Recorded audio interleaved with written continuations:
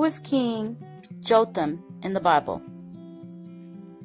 Jotham became king of Judea at age 25 and reigned for 16 years from 750 to 735 BC.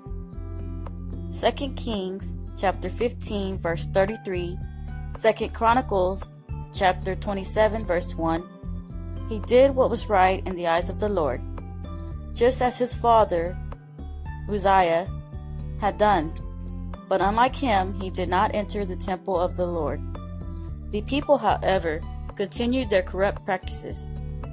Second Chronicles chapter 27 verse 2. See also 2 Kings chapter 15 verse 34 to 35.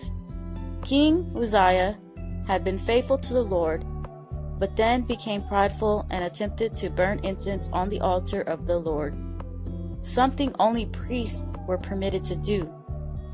Second Chronicles chapter 26 verse 16 to 20. As a result, God afflicted Uzziah with leprosy. Uzziah lived out the rest of his days in a separate house, while his son Jotham oversaw the palace and governed the people. Second Chronicles chapter 26 verse 21. Jotham did not repeat his father's mistakes of presumptuously entering the temple. Jotham grew powerful because he walked steadfastly before the Lord his God. 2 Chronicles chapter 27 verse 6.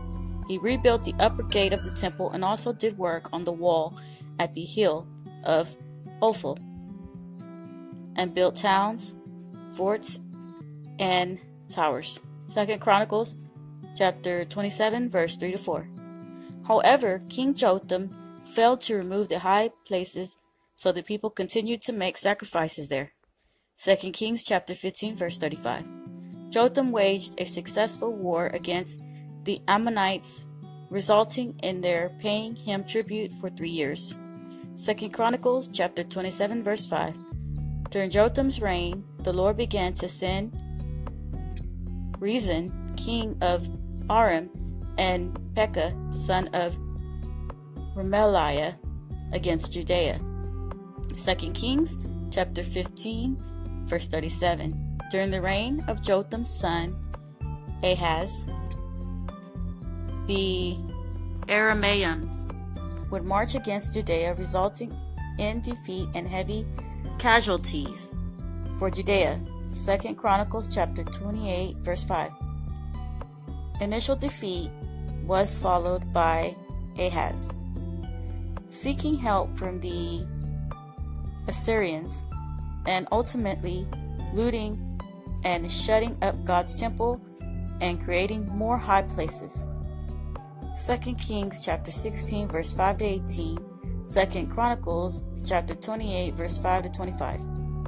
Isaiah, Hosea, and Micah all prophesied during Jotham's reign. Isaiah chapter 1 verse 1, Hosea chapter 1 verse 1, Micah chapter 1 verse 1.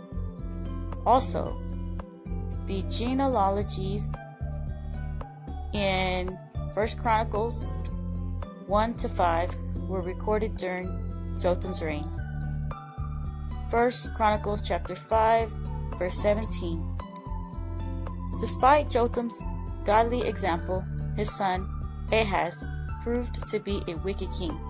Even so, both Jotham and Ahaz are ancestors of Jesus Christ. Matthew chapter 1 verse 9. God is able to use all people to accomplish his good purpose.